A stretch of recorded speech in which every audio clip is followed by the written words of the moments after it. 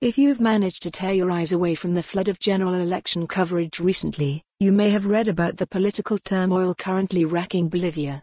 Following a narrow and contested election victory for incumbent Evo Morales in late October, protests broke out across the country in response to the president's alleged cheating, culminating in his dramatic military-backed resignation on Sunday night. Jeremy Corbyn was quick off the mark.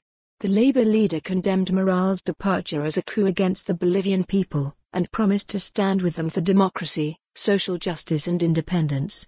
This message was echoed by other prominent figures in Corbyn's inner circle, including Shadow Justice Secretary Richard Burgon, and the left-wing journalist and activist Owen Jones, who warned that democracy will continue to die everywhere. If we let the right-wing military coup in Bolivia succeed.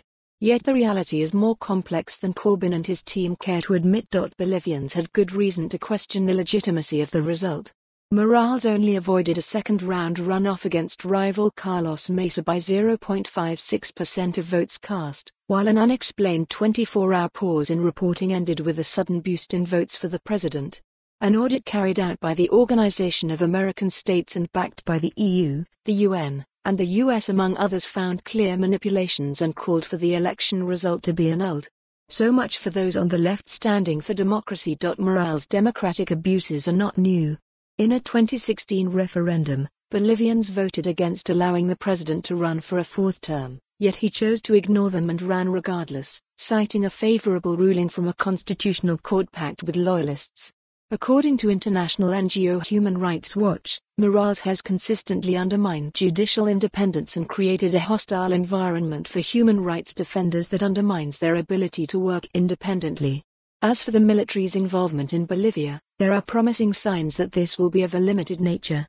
Janine Áñez, who is not a general but a member of the Senate, is set to be appointed interim president in line with the Constitution, and has promised fresh elections within months.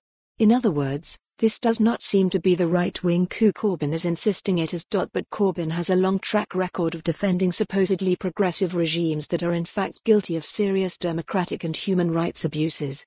He was a passionate advocate of Hugo Chávez's destructive policies in Venezuela, and has refused to criticize his successor Nicolas Maduro, despite his descent into authoritarianism and the grave humanitarian crisis that he is presiding over. The Labour leader's bizarre reluctance to blame Russia for the Salisbury attacks, despite the assessment of all credible for more on this story, visit the news article link.